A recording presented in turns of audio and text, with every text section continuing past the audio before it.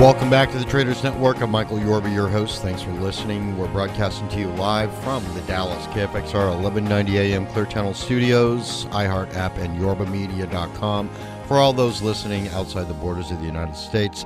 All right, I have got Chris Travers, President, co founder, UBL Interactive, symbol UBLI, on the show with me today for the next couple of segments. Chris, welcome to the show and thank you for showing up. Well, thank you very much for having me. We appreciate the opportunity to tell our story to your listeners. Uh, my, my, my pleasure. You've got quite an illustrious background. You've been in the uh, uh, broadcasting industry for, for quite a while. Let me pause and back up a bit give you a chance to tell our audience a little bit about you. This, you know, one of the steering arms of, of your company. And by the way, I applaud what you do. It's it's amazing stuff. And then we can dive right into uh, UBLI uh, Interactive. You can tell us uh, uh, more about the company, and maybe in the second segment we can go into some of the 2014 uh, goals and things of that nature. Sure. Uh, well, um, you know, my background is I'm a journalist by trade. Uh, started out in newspapers and TV, radio in Australia. I uh, worked in the UK and uh, was with Reuters for about 13 years in the United States, including um, during the Reagan White House. Uh, and I've done quite a few um, media and marketing startups as kind of media, information, and advertising and data all converged.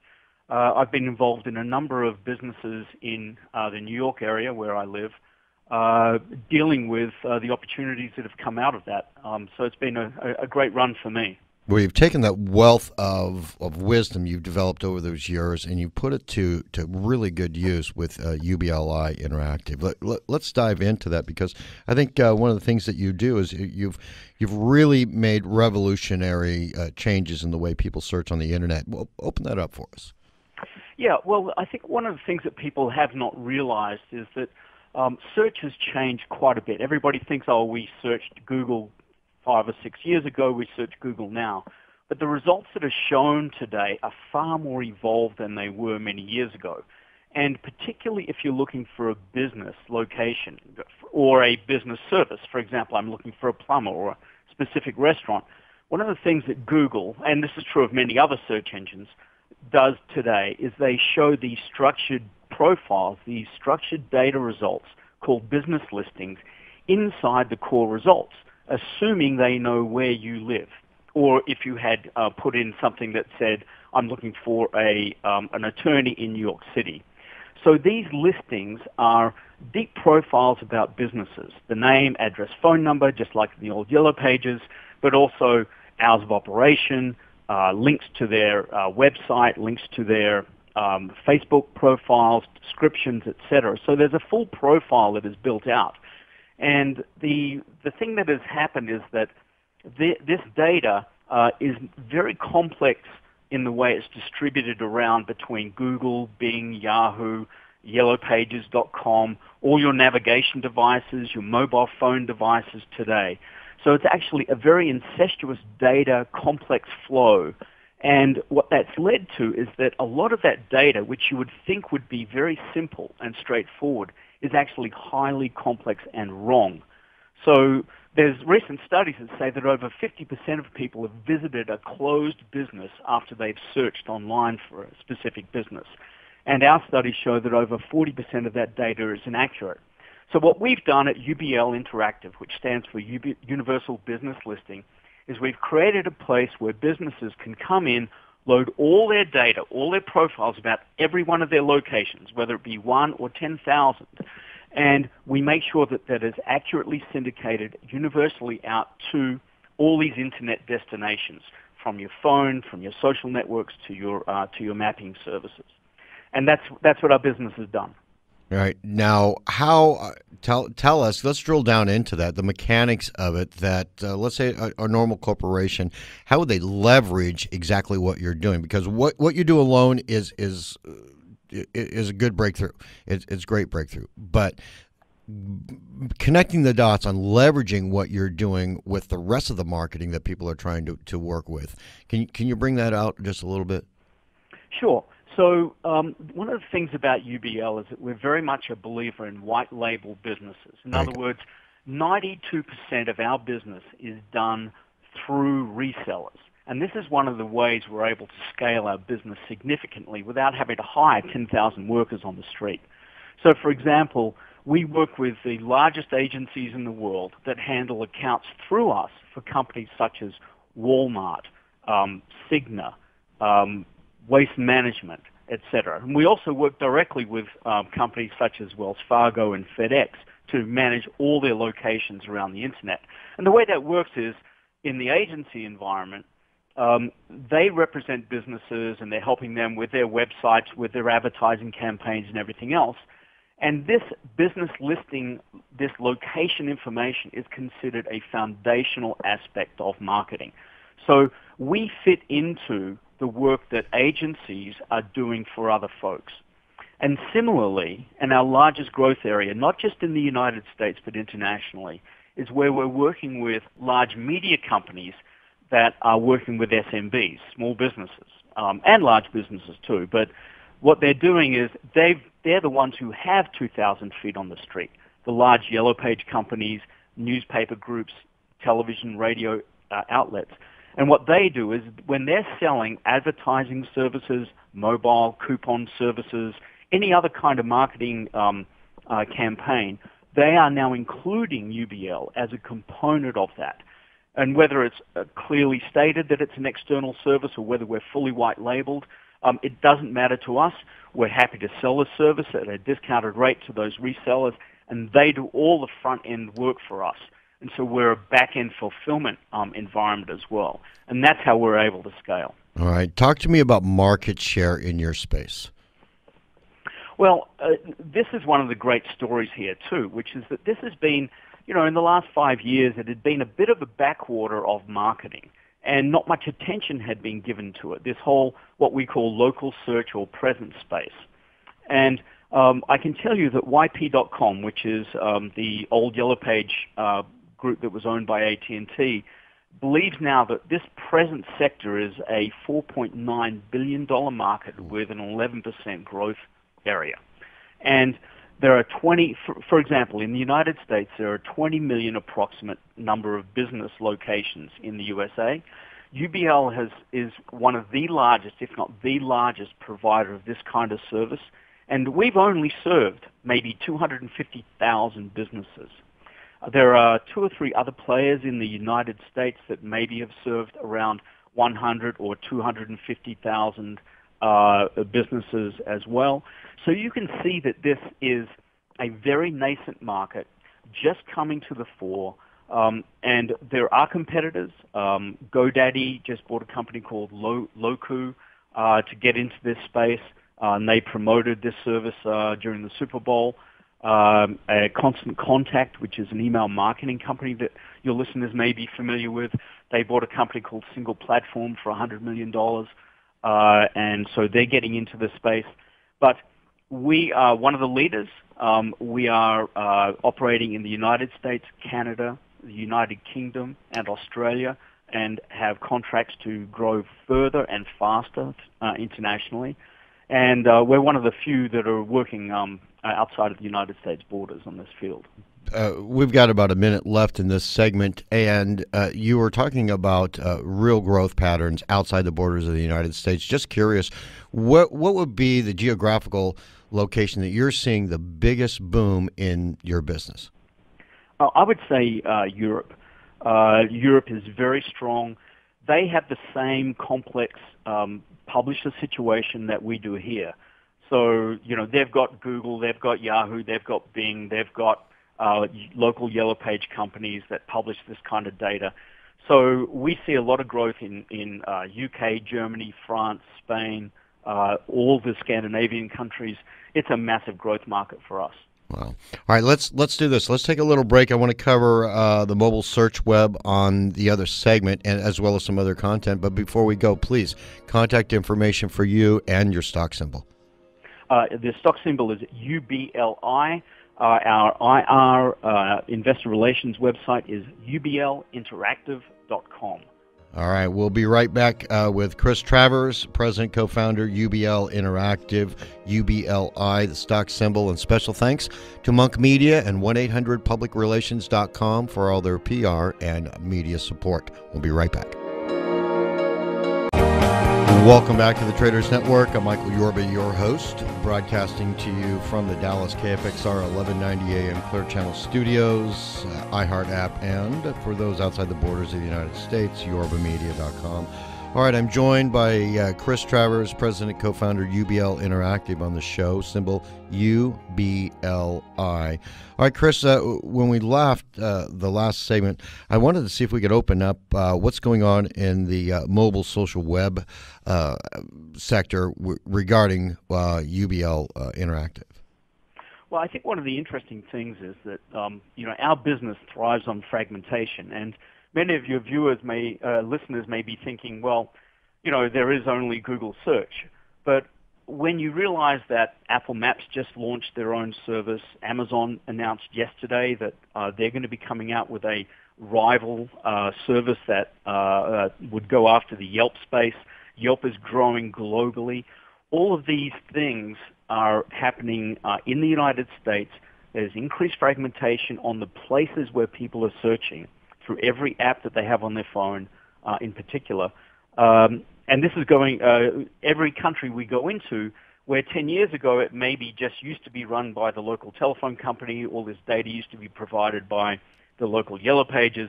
Now there's increasing number of players in the market, and that's causing a lot of growth in interest in our service where we can make sure that the data about a business and their location is accurate across each one of those devices and social networks. One of the interesting things about social networks is Facebook is not known as a search uh, site particularly, right? It's about social connections. Right. And yet more and more businesses, particularly small businesses, are finding that it's a good thing to manage their business profile on Facebook. And people are discovering them there.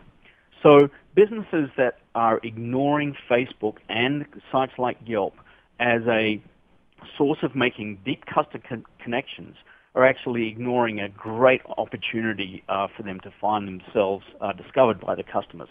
So this is a uh, another uh, growing area of interest uh, for us, and uh, we're deepening our relationships with publishers. We're installing API connections to them to do real-time updates on an increasing basis uh, and taking what was once a very manual process for these individual businesses and organizing it into a very highly uh, technologically architected um, uh, interaction for them. Believe me, that's laborious to do that, but you know, on a, it, it is. It's so welcome your service. I, I, have to tell you, doing it myself, it's amazing. Thank you.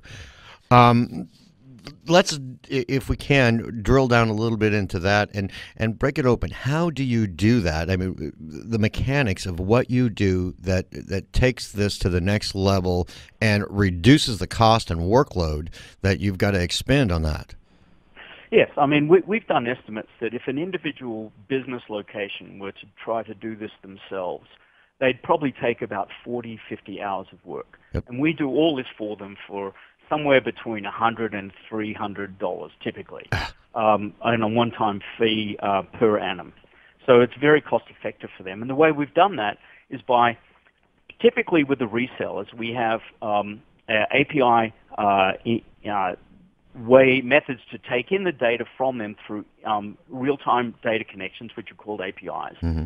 So we take the data in into a database we have a, a platform that's got a, a an interface that allows a business to update their profiles in the one location, and then we um, validate the data, and we either push it out via an API to the publisher, or we have um, robotic methods that are part automated and part manual um, in a highly structured business process that completes the task of filling out these profiles and updating the content on these uh, sites. It is a very difficult task. We're on our third generation of this software, which is one of the reasons why we have great leadership in this area. Um, and we blend onshore, offshore, and technology um, to make this happen for customers. And we believe that um, our ability to do this effectively is is uh, one of our greatest advantages. And just to give you an example, I mean, if you as a business were to build a Google profile, you will have to verify that either with a phone call or a postcard or some kind of direct connection with that location with with the um, with Google as the publisher. And most publishers of note do this. We take care of that and coordinate that for uh, the uh, the business um, as part of the process of doing that in, in compliance with the Google process rules. So that's one of the one of our strengths. Uh, it's one of the most complicated parts of what we do, and it's what's driving a lot of the interest in in our business uh, for resellers to make it easy for them. Yeah, thank you for bringing that up because uh, you know we, we def- if you're new to this space, you definitely need to you know connect the dots on that one. Now, there's also issues and opportunities with increased fragmentation. Bring that out. Well, I mean, obviously, um, I mean, in the United States, um, we deliver data to over 300 publishers. Uh, likewise, in the United Kingdom, we're delivering it to hundreds. So one of the things that we've been able to do is do direct feeds to the uh, publishers themselves, but we also have relationships with the underlying databases of this data that um, you know people don't realize that Google buys data, for example, and all the others do as well, from 20, 30, 50, 60 different sources. And those databases represent an opportunity to both clean up the information, but if you don't pay attention to it, you can also get the data wrong. So they can keep sending out bad data from databases that may be coming from a utility record or a government record that may, may look at your business by its corporate name versus its what we call street name, right? The name that the business would be known as by the user that when they're searching. So these are the kind of things that we attend to um, and um, as part of our uh, process and why we describe it as a universal business listing because we try to hit every location possible. Yes, I can see you're a must-have for every company, and that, that means every company. We've got about three and a half minutes left in the segment. Before you go, I wanted to get into and bring this out the uh, 2013 milestones so that people can kind of get a little idea of the thresholds you, you, have accomplished, but uh, but where you see the industry and you in the industry going in 2014. Well, I mean, obviously, um, you know, UBL uh, uh, in 2013 we we did uh, you know nearly three and a half million dollars in revenue. Um, we're at a seven million dollar run rate today. Uh, so that's a key objective, which is to continue to uh, to grow that, and we're very confident about it. Uh, we've doubled our staff in the last year as well, so that would give listeners an idea of our growth. Um, we're certainly consolidating our technology. Uh, we're reinvesting in our technology platforms to grow in uh, Canada and the UK and Europe in particular. Uh, we see uh, certainly uh, definitely a lot of uh, mergers and acquisitions in the space. we are looking at acquiring technologies or customer bases um, on a global basis. we think there will be a lot of interest around this sector for rolling up a number of these small agencies that have been doing this kind of thing um, uh, themselves uh, or looking to continue to outsource it. So we certainly see a lot of um, a lot of growth in the sector. Uh, every marketing company, every company that's talking to businesses about their marketing programs is going to have this as a foundational aspect of their business. And we think that, you know, just like any industry, there may be a Burger King and McDonald's and everybody else, and UBL is definitely going to be one of those. Definitely. We're part of this picture globally. Yes. Yes, it's been an honor and a pleasure to have you on the show. Before you go, please, uh, contact information for you for anything anything that's come up, and people uh, in our listening audience would like to drill down into it and, and actually talk to you uh, in person or your staff in person. Sure. Uh, again, uh, ublinteractive.com is the name of our uh, investor relations website. Um, our functional product website is called ubl.org. Uh, so that's another easy place to get to, and you can find contacts and information about us uh, us at either of those locations.